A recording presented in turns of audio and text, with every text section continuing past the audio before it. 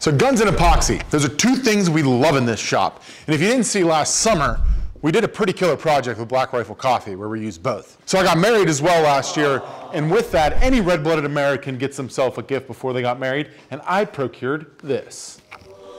Since the day I bought it, I've wanted to do a display case kind of thing for it. So we're gonna take this cut off from my first river table. Yeah, and shit's gonna get weird. So because we're gonna use the drop from the river table, I know we have some crazy character, like in this section. So I'm gonna cut this chunk out, and I think the only way to do so is with the Sasquatch.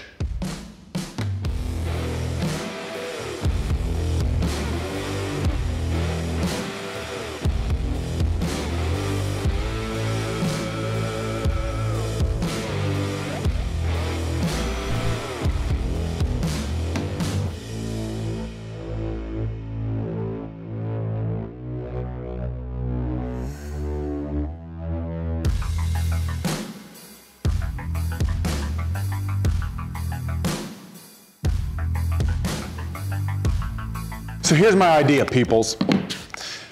The box, you can see this is some ridiculously gorgeous figured wood. So here is gonna be wood, and then this is gonna be epoxy with clear, and it'll just be see-through. So you'll see the dovetail, and they'll look like they're floating. The box is gonna be 13 inches long, wide by 10 inches deep. And with a three quarter inch width-ish, that should give us plenty of clearance on the inside.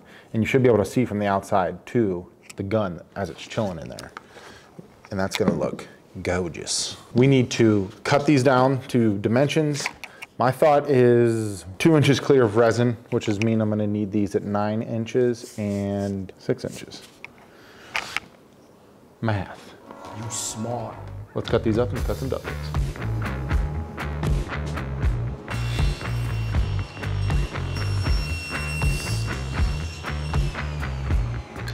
This wood has so much figure.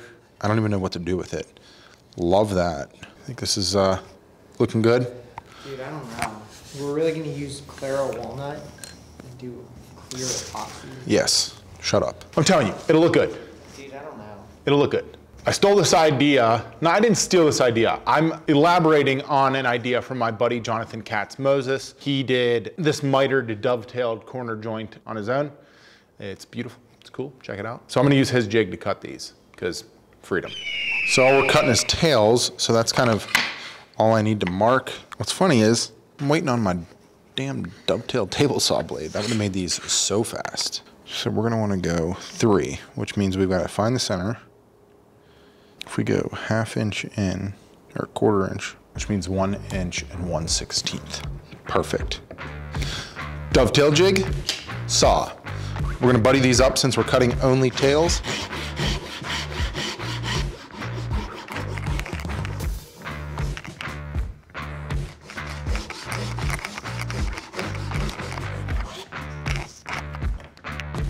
Now because I'm a lurch, I can come around this side and cut over my bench.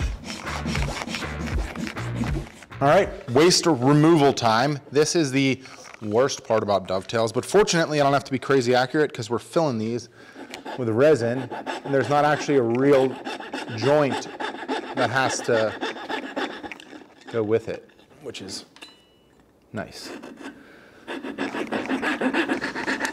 Still clean them up to look pretty because looks are all that matters.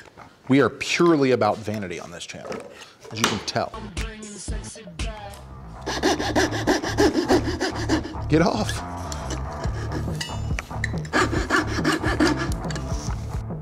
Lid. We need a lid. For the lid, we're gonna do a river because rivers.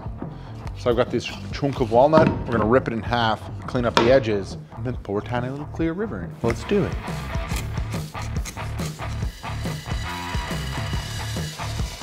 That's gonna be our river. We're gonna put a, we're gonna hop in a tiny boat, paddle down it. ASMR.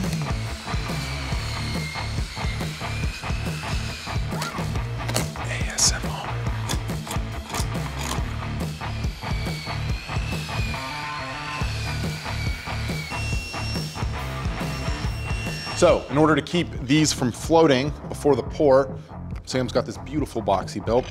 I'm just gonna go ahead and clamp these into here. It's time to pour.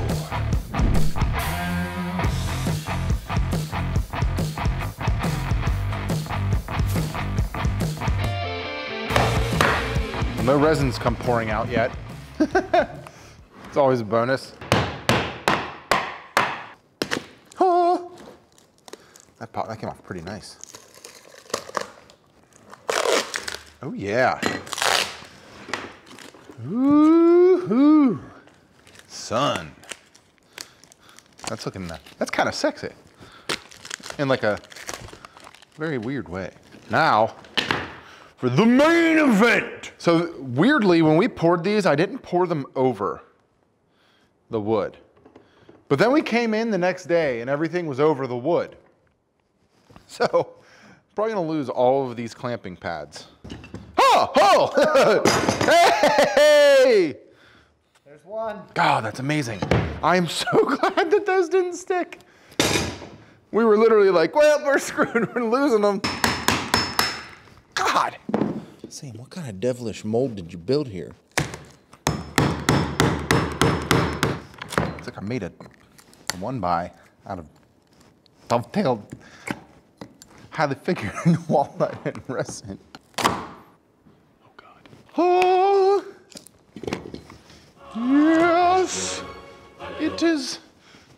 Of working. Dude, this walnut is on another level. She's gonna work, Clark. All right, let's uh, let's do a little happy dance. over to the planer. Clean these things up. So I've got a helical head planer. It should be okay to take super light passes. We're gonna do the top first, and I think the only option is to get as close to nude as possible, and just because I'm nervous. Oh, are you admiring my new yin shirt? you sure as hell are. Available in the description. Let's plane.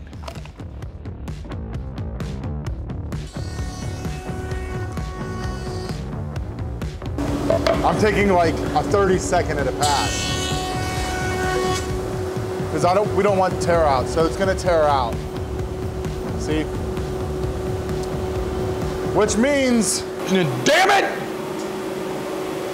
That that is literally what you call a fail. That failed. All right, we're gonna have to just pass this through the drum sander like a thousand times.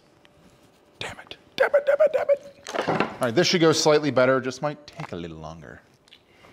Autobots assemble!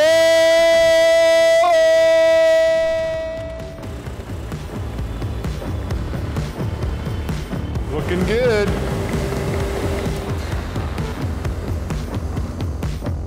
Actually went pretty well. Let's actually just make sure. Is it flat? Pucker your butthole. pretty flat. That's a big concern. If you're drum sanding something, it's not a planer. It's not gonna make it perfectly parallel. The, the head on the drum floats. So things don't always come out consistently the same thickness. We got lucky here because the pour, the bottom reference was actually super flat. So nice. I'll hand sand this after I trim it up to size. But now that we have to do, now that we're gonna be running these through the sander, I think I'd prefer to cut these to smaller pieces first. Let's somehow make marks in clear resin. Cut this.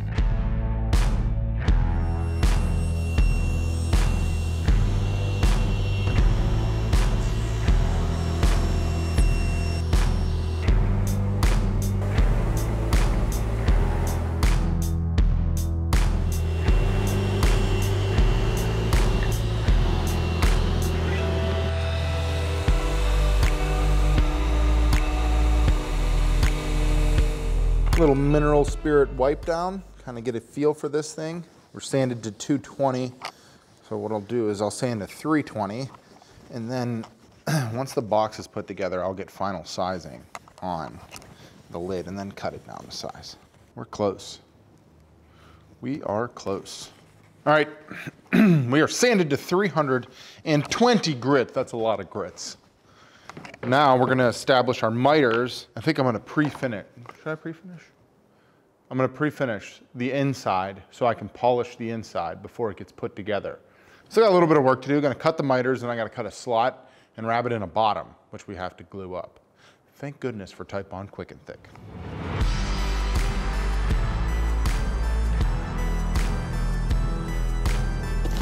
We're gonna try and patch some of these little bubbles.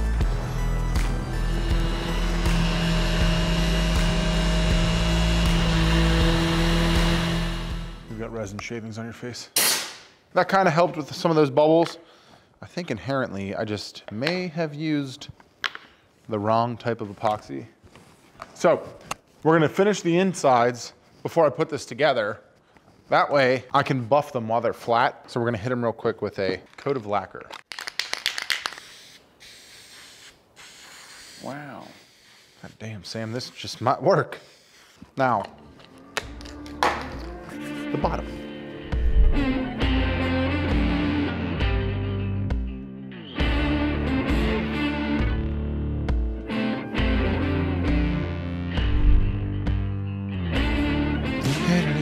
Is this the best epoxy? We don't know. So epoxy's epoxy. We're literally only gonna have like the tiniest, thinnest line of epoxy we can possibly get.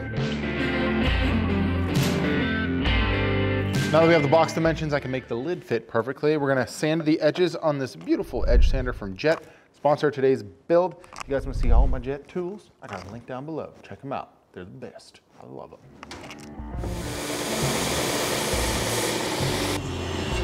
I literally don't know how I feel about this. Spiraling down the wrong hole quickly. I think one thing that's making me really not like the way it's looking is because it just is hazy as hell. Experiment with the most expensive things that I own. So I don't like the lid. This just is not gonna do it. I don't know why, but we don't love it. So we're gonna make a just standard kind of square bridle jointed something lid. Um, and I'm gonna see, I've got a book matched piece of that figured walnut that I had from a chunk I found. Try that, or we're gonna get into glass cutting without glass cutting tools.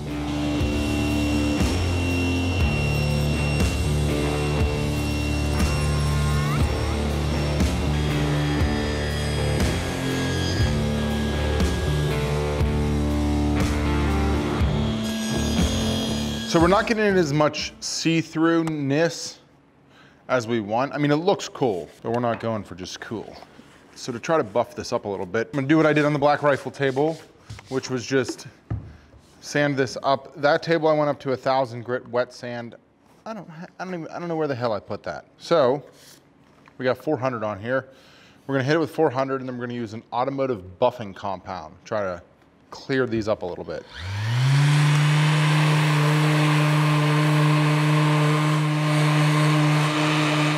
So we've got a, a medium cut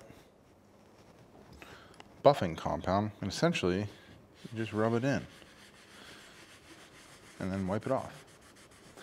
So it's got like super, it's got grit in it. I don't know what the hell the grit is, but this is how auto detailers get scratches out of cars. And we're just abrading the finish here. This is not going into the wood or the actual resin. This is just into the lacquer that we built on top. So it definitely gives it a little bit of a glassier look. And that, my friends, is my trick to clear resin. Is it right? I don't fricking know. But you can see, I gotta get the inside here. This is much more clear than this. We also have death over here. Let's go there, or even there. But yeah, that's much more the look we're going for. So the lid's mocked up, looks pretty decent. Now we need to decide if that will look better with this crazy book match piece that is just slightly too small. Damn it! What am I gonna do? Guess we can't use that. I could go this way. Do we wanna go that way and then it's an all wood box or a piece of glass? Which one would you choose? Leave a comment. So we wanna prop the gun up in the box. And I, if you guys remember, I poured this leftover. It came out so much more clear. So to the point of using this resin, it's supposed to be poured over one inch. And when you don't, that's why we got all the issues. So I want the gun to float in the box like this. So what I think we're gonna do is take this block and just cut it into three three different like blocks that I can set into the box.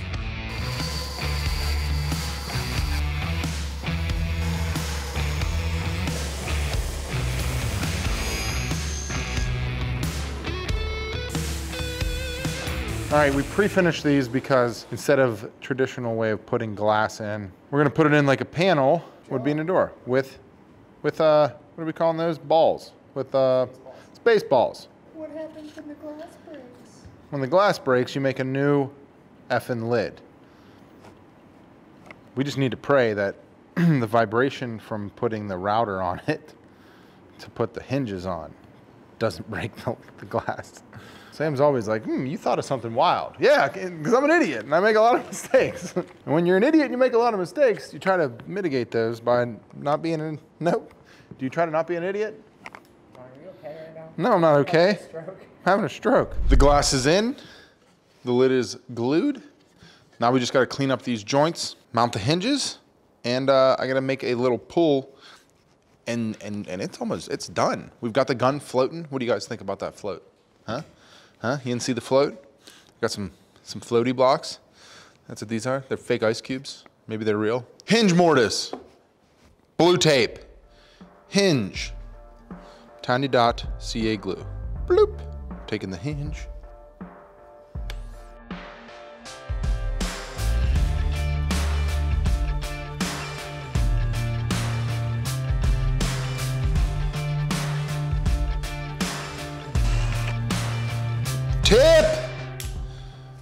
Take your screw, put it in wax, then jam it in the cram hole, and it goes in nice and smooth.